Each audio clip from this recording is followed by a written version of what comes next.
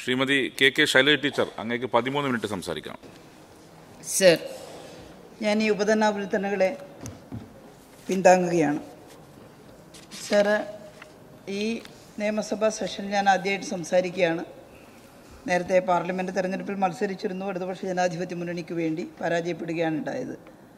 നമ്മുടെ നിയമസഭയിൽ നിന്ന് മത്സരിച്ച് പാർലമെന്റിലേക്ക് പോയിട്ടുള്ള ബഹുമാനായിട്ടുള്ള ശ്രീ കെ രാധാകൃഷ്ണനും ഷാഫി പറമ്പിലും നല്ല പാർലമെന്റേറിയന്മാരായിരിക്കട്ടെ എന്ന ആശംസകൾ കൂടി അർപ്പിക്കാൻ ഞാൻ ഈ അവസരം വിനിയോഗിക്കുകയാണ്.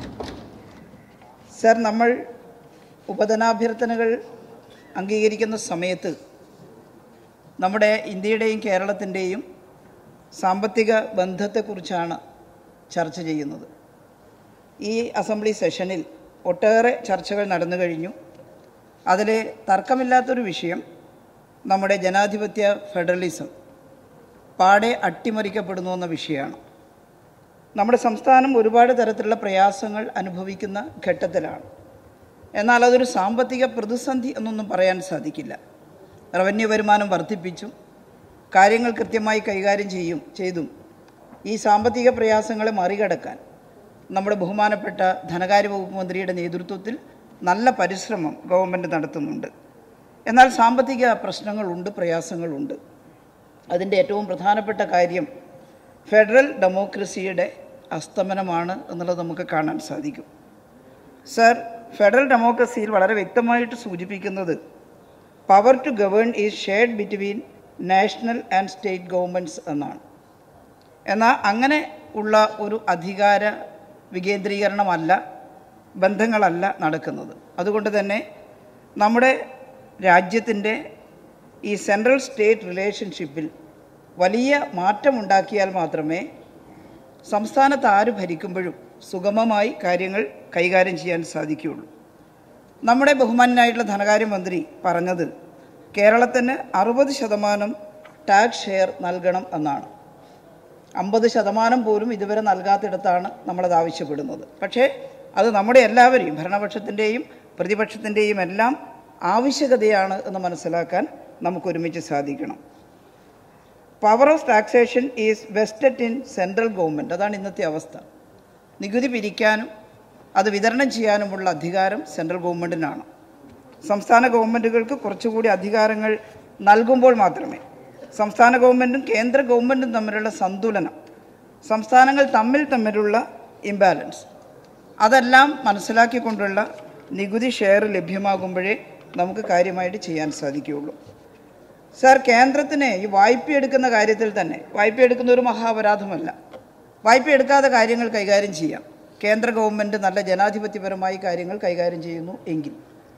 കേന്ദ്ര ഗവൺമെന്റിലേക്ക് വരാനിരിക്കുന്ന എല്ലാ സാമ്പത്തിക മാർഗങ്ങളും അവസാനിപ്പിച്ച് പൊതുമേഖലാ സ്ഥാപനങ്ങളെ അടക്കം വിറ്റുതുലക്കുന്ന മുതലാളിത്ത സമീപനം കേന്ദ്ര ഗവൺമെന്റ് സ്വീകരിക്കുന്നത് കൊണ്ടാണ് കടം വാങ്ങേണ്ടി വരുന്നത്.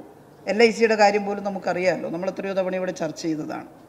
അങ്ങനെ കേന്ദ്ര ട്രഷറിയിലേക്ക് പണം വരേണ്ടുന്ന എല്ലാ ഭാഗങ്ങളും അടച്ചുകൊണ്ട് കേന്ദ്രത്തിന്റെ ഗവൺമെന്റിന്റെ പണം സ്വകാര്യ കോർപ്പറേറ്റുകൾക്ക് ഒഴുക്കി കൊടുക്കുന്ന സമീപനം സ്വീകരിക്കുന്നത് കൊണ്ടാണ് കടം വാങ്ങേണ്ടി വരുന്നത്. കേന്ദ്രവും കടം വാങ്ങുകയാണ്. കേന്ദ്രത്തിന്റെ കടം കേന്ദ്ര ബഡ്ജറ്റിന്റെ പതിനേഴ് ലക്ഷം കോടി രൂപ കടം വാങ്ങിയതാണ് കേന്ദ്ര ബഡ്ജറ്റിന്റെ ഭാഗമായിട്ട് വരുന്ന കണക്കുകൾ.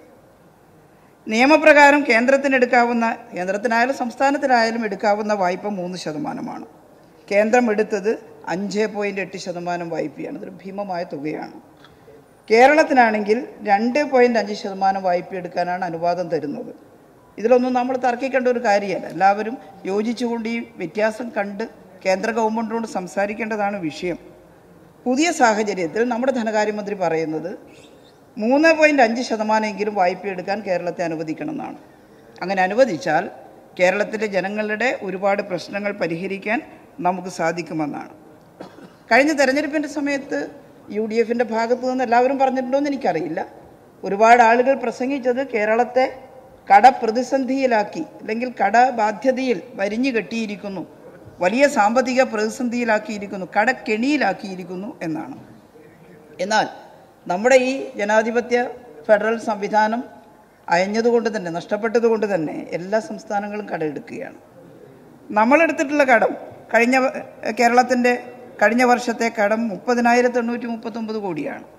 എന്നാൽ തമിഴ്നാട് എൺപത്തേഴായിരം കോടി പടിഞ്ഞാറൻ ബംഗാൾ അറുപത്തി മൂവായിരം കോടി രാജസ്ഥാൻ നാൽപ്പത്തി ആറ് ആറായിരം കോടിയിലേറെ കടമെടുത്തിരിക്കുന്നു. ആന്ധ്രാപ്രദേശ് പോലും എടുത്തിരിക്കുന്നു എന്നുള്ളതാണ്. പക്ഷേ നമ്മളൊരു കാര്യം ചെയ്തു. കട എടുക്കേണ്ടി വന്നപ്പോഴും പരിധിക്കപ്പുറത്തേക്ക് പോയിട്ടില്ല.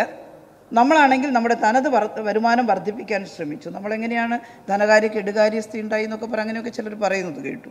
അങ്ങനെ പറയാൻ സാധിക്കുമോ? കേരളത്തിന്റെ തനത് നികുതി വരുമാനം എഴുപത്തിയെട്ട് പോയിന്റ് ഏഴ് ശതമാനം നമ്മൾ വർദ്ധിപ്പിച്ചിട്ടുണ്ട്. പക്ഷേ നമ്മുടെ ആവശ്യകതകളുമായി തട്ടിക്കുമ്പോൾ അതുകൊണ്ട് മാത്രം ആവുന്നില്ല. നമ്മുടെ ടാക്സ് ഷെയർ കൂടി കിട്ടിയാലേ മതിയാവൂ എന്നുള്ളത് കൊണ്ടാണ് നമുക്ക് തികയാത്തത്. ഈ തനത് നികുതി വരുമാനം ദേശീയ ശരാശരി അറുപത്തഞ്ച് പോയിന്റ് നാല് ശതമാനമാണ് വർധനവിന്റെ ശരാശരി. പക്ഷെ നമ്മളത് എഴുപത്തിയെട്ട് പോയിന്റ് ഏഴ് ശതമാനം വർധനവുണ്ടാക്കിയിട്ടുണ്ട് പക്ഷേ അതുകൊണ്ടും തികയാതെ വന്നിരിക്കുകയാണ്. അപ്പോൾ ഈ പ്രത്യേക സാമ്പത്തിക സാഹചര്യത്തിൽ നമ്മളെന്താണ് ചെയ്യുക? അത് ഭരണപക്ഷവും പ്രതിപക്ഷവും എല്ലാം കൂടി ആലോചിച്ച് കൈകാര്യം ചെയ്യേണ്ട ഒരു വിഷയമായിട്ട് മാറിയിരിക്കുകയാണ്.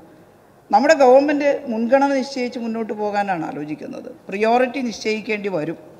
പ്രിയോറിറ്റി നിശ്ചയിക്കുമ്പം എന്ത് പ്രിയോറിറ്റിയാണ് കൊടുക്കേണ്ടത്? സ്വാഭാവികമായിട്ട് ഞങ്ങളെല്ലാം പറയുന്നത് എൽ ഡി എഫ് ചർച്ച ചെയ്യുന്നുണ്ട് ഈ വിഷയം. ഞങ്ങൾ പറയുന്നത് സാധാരണക്കാരുടെ ജീവിത പ്രശ്നങ്ങൾ പരിഹരിക്കാനുള്ള പ്രിയോറിറ്റി നിശ്ചയിച്ച് മുന്നോട്ട് പോകണമെന്നാണ്.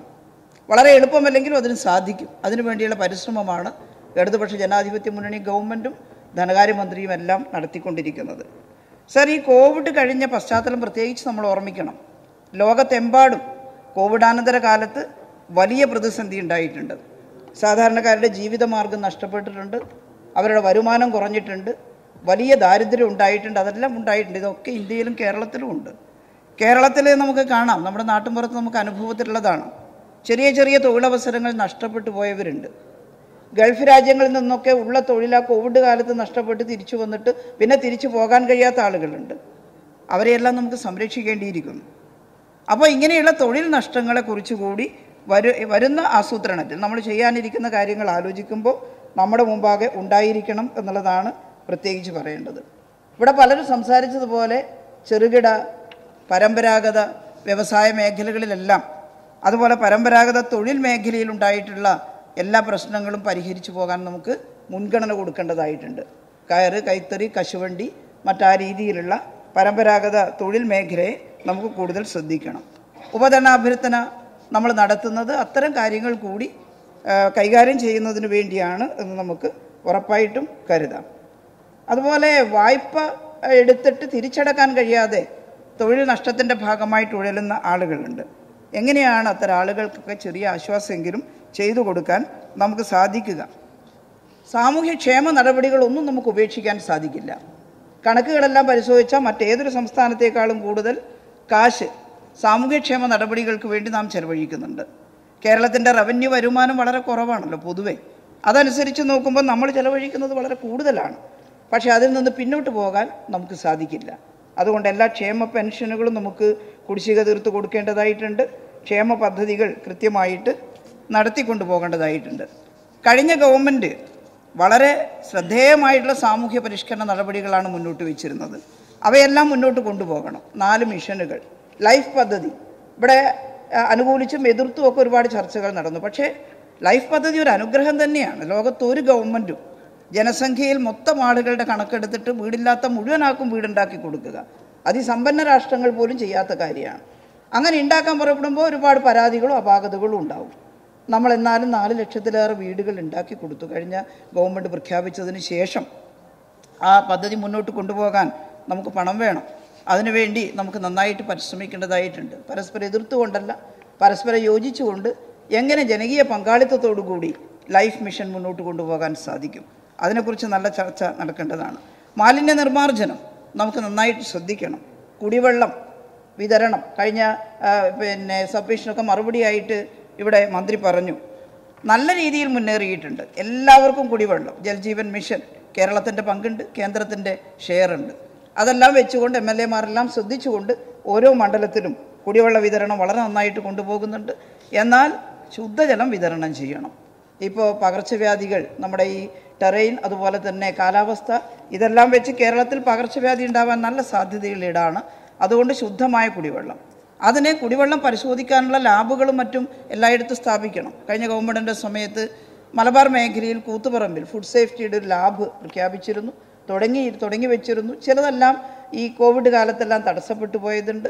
അതെല്ലാം പുനരുജ്ജീവിപ്പിച്ച് അത്തരം കാര്യങ്ങൾ പൂർത്തിയാക്കിക്കൊണ്ട് നമുക്ക് ഈ മേഖലയിൽ ജനങ്ങളുടെ ആരോഗ്യം രക്ഷിക്കാൻ ഇടപെടണം.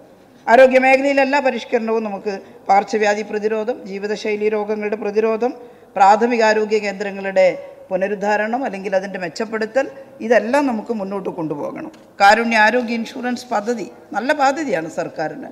നാൽപ്പത്തിരണ്ട് ലക്ഷം കുടുംബങ്ങൾക്കുള്ള പ്രീമിയത്തിൽ പതിനെട്ട് ലക്ഷം കുടുംബങ്ങളുടെ നാൽപ്പത് അറുപത് ശതമാനം മാത്രമേ കേന്ദ്രം തരുന്നുള്ളൂ. എന്നാലും അവരുടെ പേരെഴുതി വെക്കണമെന്ന് അവർ പറയുകയാണ് ഇതിനെല്ലാം.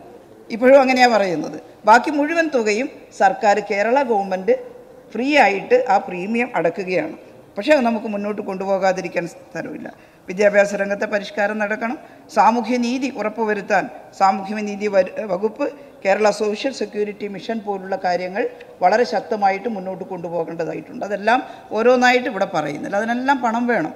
ആ പണം എങ്ങനെ സ്വരൂപിക്കുമെന്നും എങ്ങനെ ഡിസ്ട്രിബ്യൂട്ട് ചെയ്യുമെന്നും ഏതിന് മുൻഗണന ആദ്യത്തെ മുൻഗണന കൊടുക്കണം എന്നുള്ളതും നമ്മൾ തീരുമാനിക്കേണ്ടതായിട്ടുണ്ട്. സർ ഇതിനെല്ലാം പ്രതിപക്ഷം സഹകരിക്കണ്ടേ? എന്നാൽ അങ്ങനെയൊരു സഹകരണാത്മകമായ സമീപനമല്ല പ്രതിപക്ഷത്തിന്റെ ഭാഗത്തുനിന്നുണ്ടാകുന്നത്. വിമർശനം സംഹാരാത്മകമായിട്ട് മാറുകയാണ്. കേന്ദ്ര ഗവൺമെന്റിനെതിരായിട്ട് സമരം ചെയ്യാൻ പോലും വന്നില്ലല്ലോ. നമ്മൾ ഒരുമിച്ച് പോയി സമരം ചെയ്തിരുന്നെങ്കിൽ എത്ര നന്നായേനെ അത്?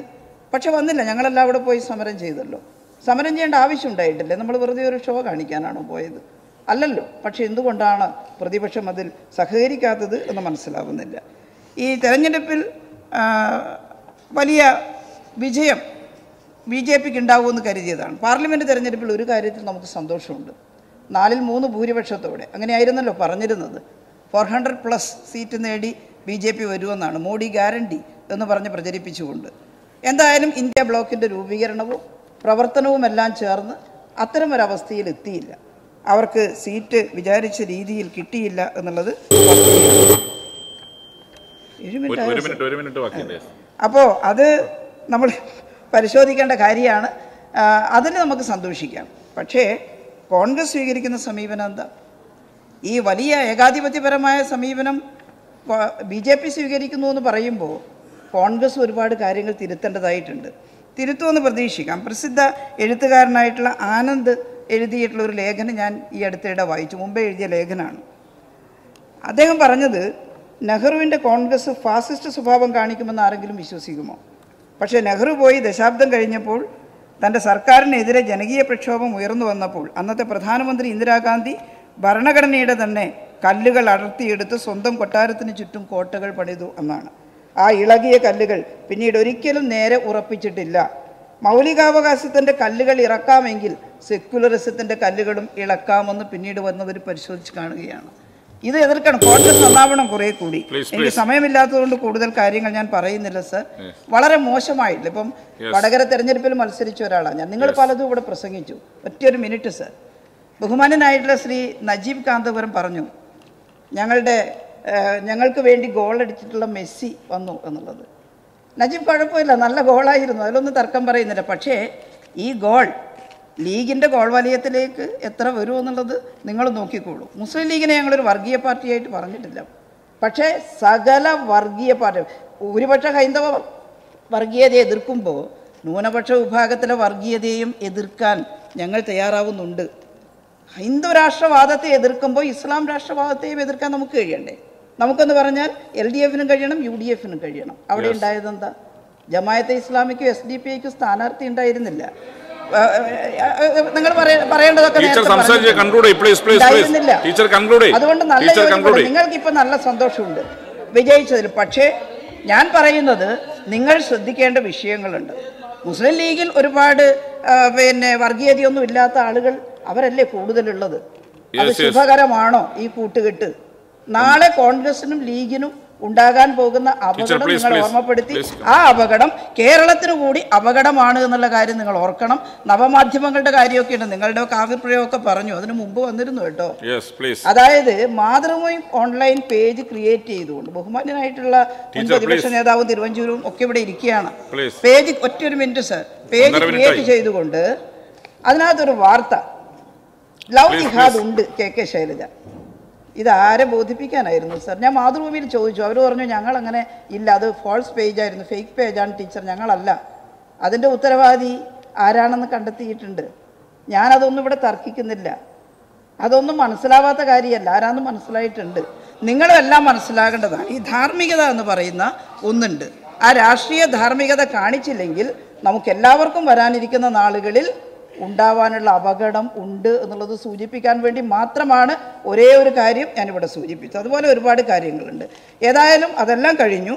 നമുക്ക് ഒരുമിച്ച് നിന്ന് നമ്മുടെ കേരളത്തെ കേരളത്തിലെ ജനങ്ങൾ കഷ്ടപ്പെട്ടു പോകാതെ പ്രിയോറിറ്റി നിശ്ചയിച്ചുകൊണ്ട് നമ്മുടെ സാമ്പത്തിക ബുദ്ധിമുട്ടുകൾക്കിടയിലും എങ്ങനെ കേരളത്തെ മുന്നോട്ട് നയിക്കാം കേരളത്തിലെ ജനങ്ങൾക്ക് എത്രമാത്രം ആശ്വാസം എത്തിക്കാം എന്ന് കാണുന്നതിന് വേണ്ടി പരിശ്രമിക്കണം. അതിന് പ്രതിപക്ഷത്തിന്റെ സഹായവും ഉണ്ടാകും എന്ന പ്രതീക്ഷയാണ് ഞങ്ങൾക്കെല്ലാം ഉള്ളത് അങ്ങനെ ഒത്തൊരുമിച്ച് പ്രവർത്തിച്ചാൽ ഈ പറയുന്ന മാവേലി സ്റ്റോറിൽ അരിയെത്തിക്കുന്നതിനും പെൻഷൻ കൊടുക്കുന്നതിനും. ഒക്കെ സാധിക്കും എന്ന് പറഞ്ഞുകൊണ്ട് ഞാൻ അവസാനിപ്പിക്കുകയാണ് ഒരിക്കൽ കൂടി ഉപധനാഭ്യർത്ഥനയെ പിന്താങ്ങുകയാണ്